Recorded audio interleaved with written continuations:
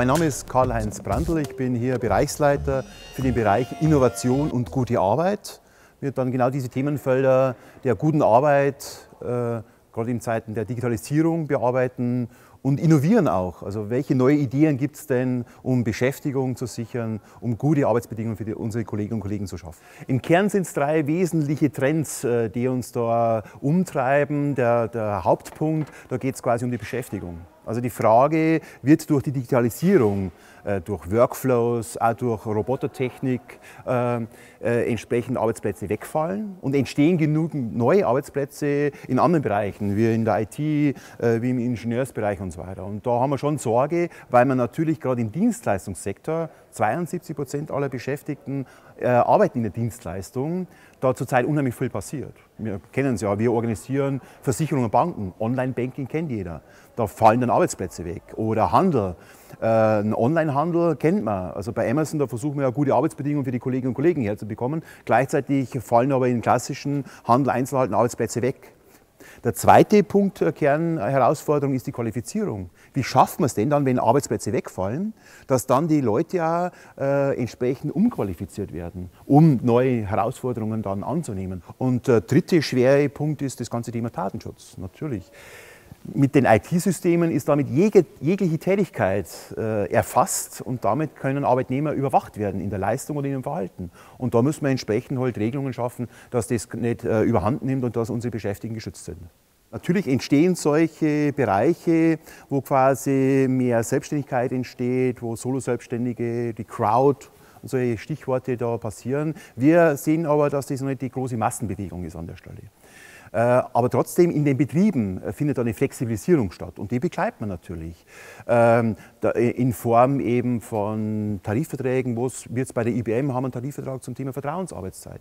Da wollen wir klare Regeln schaffen, dass diese Flexibilisierung, ich kann auch mal von zu Hause aus arbeiten, von unterwegs und so weiter, dass das aber auch zugunsten der Beschäftigten genutzt werden kann. Wir brauchen gesetzliche Rahmen, Rahmenregelungen, die quasi hier als Schutz Mechanismen dienen. Gleichzeitig müssen wir aber auf der betrieblichen Ebene, sei es über Tarifverträge wie auch über Betriebsvereinbarungen, ordentliche ähm, Rahmenregelungen schaffen, wo eben dann sowas möglich ist, wo das auch rechtssicher dann äh, ist, dass man, wenn man im Zug arbeitet am Laptop, dass das auch Arbeitszeit ist und auch anerkannt wird. Auch. Da braucht man halt die Rechtsgrundlagen. Dann, glaube ich, wird auch ein Schuh draus, dass einerseits die Arbeitgeber in Form von ähm, Innovationen, von äh, neuen Geschäftsmodellen profitieren und gleichzeitig auch die Beschäftigten.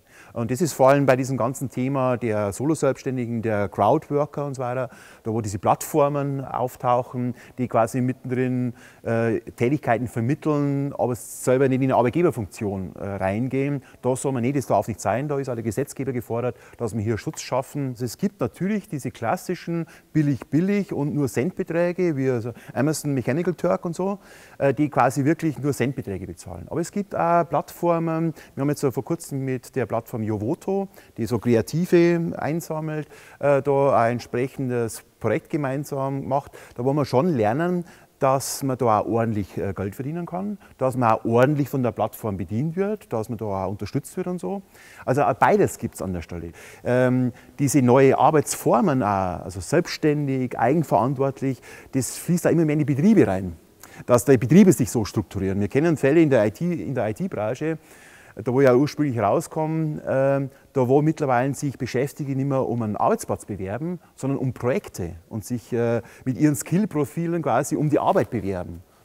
Mehr Freiraum ist ja nichts Falsches, wenn die Bezahlung stimmt und die Arbeit dabei nach wie vor eine gute Arbeit ist. Also wertgeschätzt wird, äh, gut bezahlt wird und man ein ordentliches Auskommen hat. Und wenn die Kolleginnen und Kollegen, die Selbstständigen, sagen, wir brauchen jetzt äh, quasi eine Solidarität, weil wir wollen wissen, wie das mit diesen Algorithmen funktioniert, warum jetzt Herr Huber quasi den Auftrag bekommen hat und war er nicht. Und der Algorithmus hat es irgendwie zugeteilt dann schließt man sie zusammen und versucht es entsprechend zu regeln. Und da unterstützen wir. Wir haben da gemeinsam äh, mit dem DGB äh, diesen sogenannten DGB-Index Gute Arbeit entwickelt mit elf Arbeitsdimensionen, da wo es eben von Qualifizierung über Führung, über körperliche, geistige Belastungen bis hin eben zu Einkommen und Arbeitsplatzsicherheit. Auch das gehört zu der guten Arbeit, dass man eben Sicherheit hat und nicht immer dieses Hire and Fire, also ne, heute eingestellt, morgen rausgeschmissen ist. Oder eben so, äh, so im Arbeitsschutz auch so ein Thema wie Nichterreichbarkeit dass man wirklich einmal auch äh, abgesichert das Handy ausschalten kann. Jeder sagt, ja, Sie können das Handy ausschalten. Ne? Aber wenn der Chef dann sagt, na, es wäre schon schön, wenn ich Sie auch am Sonntag erreichen könnte, ne, da, deswegen braucht man da auch so solche Rahmenregelungen, um das äh, gut hinzubekommen.